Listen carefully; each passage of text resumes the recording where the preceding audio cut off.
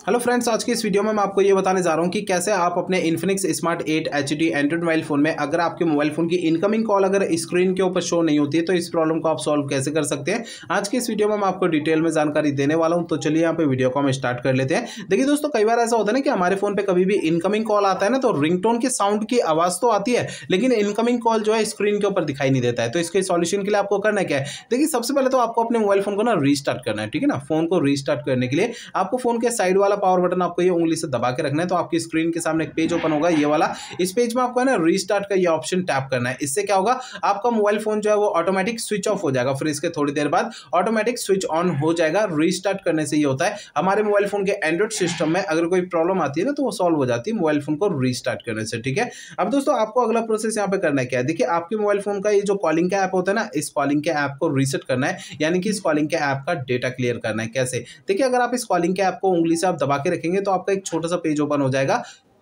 मैं आपको दिखाता हूँ। यहाँ पर जो है ना, इस तरीके का एक छोटा सा पेज ओपन होगा इस तरीके का, ठीक है? इसमें आपको ये ऐप इन्फो लिखा हुआ मिलता है, इसे टैप करना है, या फिर सर्कल के अंदर जो आई बटन है, इसे टैप करना है। आपका ये वाला पेज ओपन होगा, इसमें आपको ये स्टोरेज एंड कैच का ऑप्शन टैप करना है। अब इसके अगले पेज में आपको दो ऑप्शन मिलते हैं, एक तो क्लियर स्टोरेज का, दूसरा क्लियर कैच का। आपको पहले ना क्लियर कैच पे टैप करना है, इसके बाद क्लियर स्टोरेज पे टैप करना है। आपका ये छोटा सा पेज ओपन होता है डिलीट ऐप डेटा का। इसमें आपको ओके का ये बटन टैप कर देना है तो आपका ये जो डेटा और ये जो कैच है ना, इन दोनों के सामने वाला डेटा ये आपका ज़ीरो हो जाएगा। इस तरीके से आपको ना, अपने मोबाइल फ़ोन का, ये जो कॉलिंग का ऐप है, इसे आपको रीसेट कर देना है, जिससे आपके फ़ोन की जो इनकमिंग कॉल स्क्रीन के ऊपर शो नहीं होती है प्रॉब्लम आपकी सॉल्व हो जाएगी, ठीक है ना? अब दोस्तों, आपको अगला प्रोसेस यहाँ पे करना क्या है? देखिए, आपको जो है ना अपने मोबाइल फ़ोन का ना सॉफ्टवेयर एक बार चेक करना है कि वो अपडेट है या नहीं है। दोस्तों, कई बार ऐसा होता है, हमारे फ़ोन का ना सॉफ्टवेयर का अपडेट आता है, हम उसे अपडेट नहीं करते हैं, या फिर कभी फ़ोन में अपडेट आ जाता है, हमें पता भी नहीं लगता है। तो मोबाइल फ़ोन का सॉफ्टवेयर अगर अपडेट नहीं होता है ना तो इससे हमारे फ़ोन के एंड्रॉइड सिस्टम के अंदर कुछ कमियाँ आने लगती हैं। तो आपके फ़ोन का सॉफ्टवेयर अपडेट है या नहीं, आपको चेक कैसे करना है? देखिए, सबसे पहले तो आपको अपने फ़ोन का इंटरनेट आपको चालू रखना है। इसके बाद आपको अपने फ़ोन का सेटिंग पेज ओपन करना है।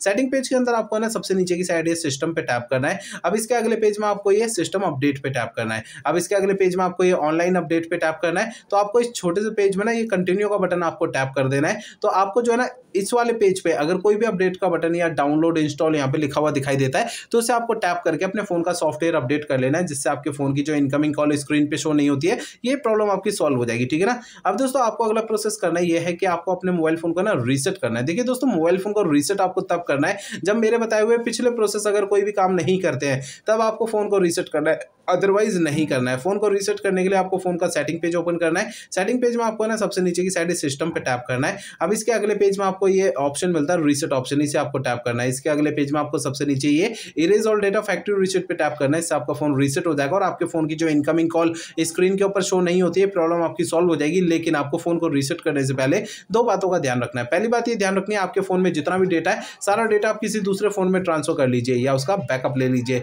दूसरी बात ये ध्यान रखनी है, आपके फ़ोन की जीमेल आईडी और उसका पासवर्ड आपको पहले से नोट करके रखना है। ये दो काम आपको पहले करना है, उसके बाद आपको फ़ोन को रीसेट करना है, ठीक है? मेरे बताए हुए सारे प्रोसेस आप यूज़ करेंगे तो इससे आपके फ़ोन की जो इनकमिंग कॉल स्क्रीन के ऊपर शो नहीं होती है, ये प्रॉब्लम आपकी सॉल्व हो जाएगी। अगर मेरे बताए हुए सारे प्रोसेस यूज़ करने के बाद भी आपकी ये प्रॉब्लम सॉल्व नहीं होती तो आपको करना क्या है? देखिए दोस्तों, आपके मोबाइल फ़ोन का जो सर्विस सेंटर होगा ना, अपने फ़ोन के सर्विस सेंटर चले जाना, अपना फ़ोन वहाँ पर दिखा देना है। ऐसा मैं इसलिए कह रहा हूँ, देखिए हो सकता है आपके फ़ोन के हार्डवेयर में कोई दिक्कत होगी, जिसकी वजह से आपकी ये प्रॉब्लम आ रही है, क्योंकि मैंने आपको इस वीडियो में जितने भी सॉल्यूशन बताए ना वो मोबाइल फ़ोन के सॉफ्टवेयर के ज़रिए बताए हैं। अगर मोबाइल फ़ोन के सॉफ्टवेयर की किसी कमी के कारण आपकी ये प्रॉब्लम आ रही है तो मेरे बताए हुए तरीकों से आपकी ये प्रॉब्लम सॉल्व जो है हो जाएगी। अदरवाइज़ आपको अपने फ़ोन के सर्विस सेंटर जाना पड़ेगा, ठीक है?